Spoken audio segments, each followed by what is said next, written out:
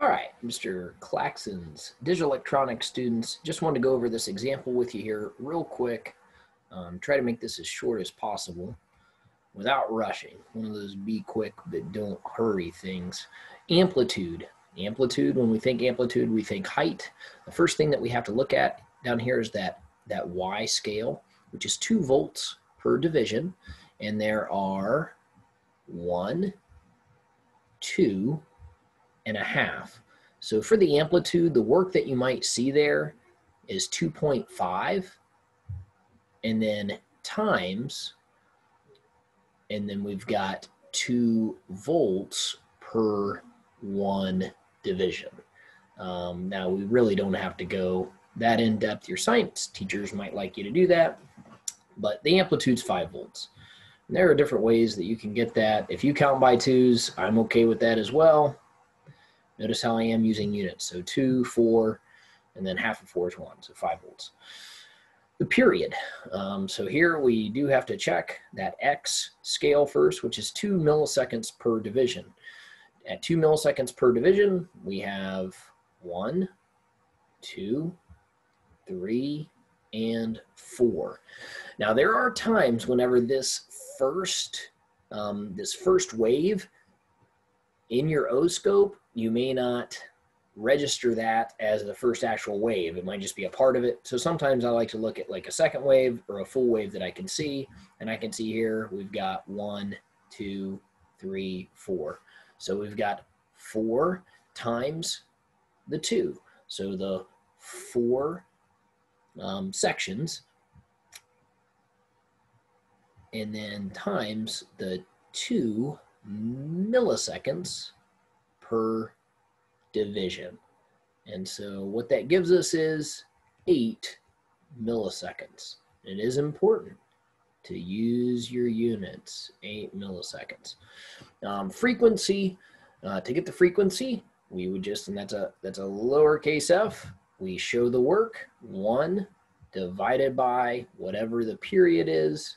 So that would be one divided by and then 8 milliseconds. Now, it's not going to be 1 divided by 8. Um, what it actually is, is 1 divided by, and we move the decimal point back 3, um, 0 0.008. Now, if you're pretty good at math, um, just, this is just me geeking out a little bit. Um, that's 1 over 8 times 10 to the negative third. So if you notice here, um, we could move that 10 to the negative third up top, and that's essentially 10, it becomes 10 cubed up there. So that's 10 cubed um, divided by 8. And that, that's what it would be for the hertz, right? So that would be 10 times 10 times 10, which is 1,000 divided by 8. Um, and that would give you the number of hertz. Or take 1 divided by 0.008. You'll get the same thing. Uh, time, time high. This is where we have to really pay attention to what the scale is here. Notice how the scale is 2 milliseconds per division. So for each of these, because it's 2 milliseconds per division, um, 2 milliseconds we're going to divide that by five because there are five sections, five smaller sections um, within that division. So 2 fifths is 0 0.4 or 4 tenths. 2 fifths is 4 tenths. Um, multiply by 2, multiply by 2. So each one of those is 0.4 milliseconds. It is very important to acknowledge that. I like to just make a note anytime this scale down here is not one, we need to go up and calculate that. That's one of the, the more common mistakes that you will see throughout this section. So I see um, the time high here is I've got two milliseconds, four milliseconds, and then 0 0.4, 0.8. So that would be 4.8 milliseconds. And then if I know my period, and by the way, that's time high. So T sub H is equal to 4.8 milliseconds. Really important, really important to put those units there. Now, time low, for time low, all I really have to do, if I want to do some math, I can take my period, which is 8 milliseconds, and subtract 4.8 milliseconds. And then we get 3.2. Um, or you could just, um, you could count backward just so it's point, or just count up until the start of the next one.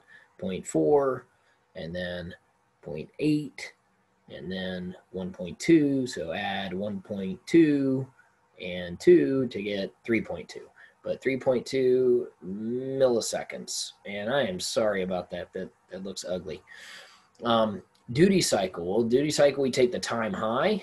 We're going to take that time high, and we're going to divide that by the period. So for my duty cycle or my DC, um, we're going to take 4.8 milliseconds, and I'm going to pay attention to the units to make sure my units are the same because that's the only reason that I'm allowed to divide these um, as if my units are the same. If not, I have to convert them to common units. So because my units are common there, I can just take 4.8 um, and divide that by 8. So we get 4.8 divided by 8. So we get 60%, right? 60% duty cycle. We're going to get 0.6. Now you need to multiply that by 100 or just convert that to a percentage. So that is a 60% duty cycle. So your DC is actually equal to 60%. We got to multiply by 100 there. All right. So hopefully that's going to help you out. The key part there is noticing that that X scale is 2 milliseconds per division and making sure that you adjust accordingly there. So thank you very much for watching. I hope this helped you out.